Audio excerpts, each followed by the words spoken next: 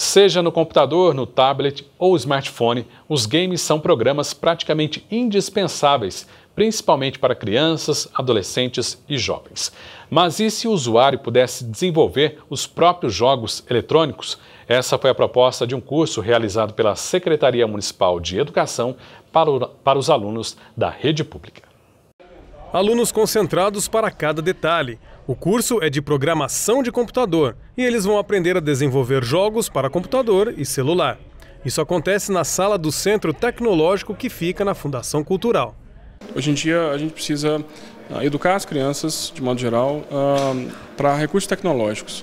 Então a proposta era ensinar duas coisas: programação em Python, que é uma linguagem de programação muito, muito popular hoje em dia, e desenvolvimento de jogos. E você consegue atrelar as duas coisas, né? desenvolver jogos com Python. Então a proposta é essa: basicamente a gente vai uh, ensina uma linguagem de programação e em seguida desenvolve um jogo com essa, com essa linguagem. Segundo a coordenadora do Centro Tecnológico, a ideia é que os alunos ocupem o tempo fora da sala de aula com diferentes cursos ao longo do ano ter um espaço onde os alunos possam vir e participar de oficinas, workshops que desenvolvam a competência tecnológica e digital é, é, muito importante é um ganho para a rede municipal, porque o, os estudos têm mostrado que o trabalho com, com, metodologias mais inovadoras e que envolvam o uso de tecnologia é, é um trabalho que tem sido necessário para o contexto atual. Então, neste sentido, eles vêm para cá e são é, o professor vem trabalhando metodologias ativas, onde os alunos desenvolvem os projetos dentro de um problema.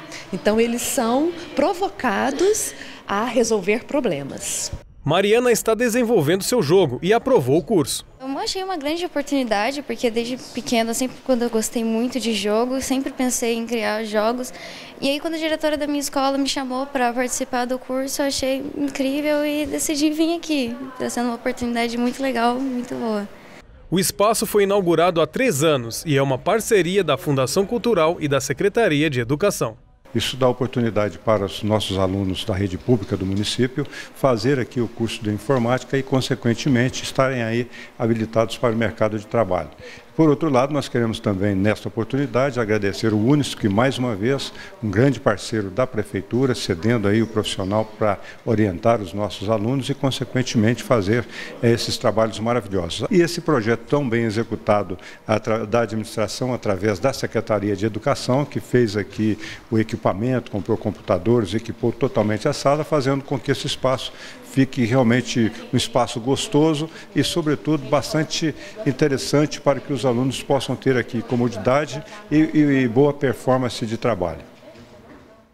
As aulas do curso de programação foram ministradas entre os meses de setembro e novembro em parceria com o Centro Universitário do Sul de Minas.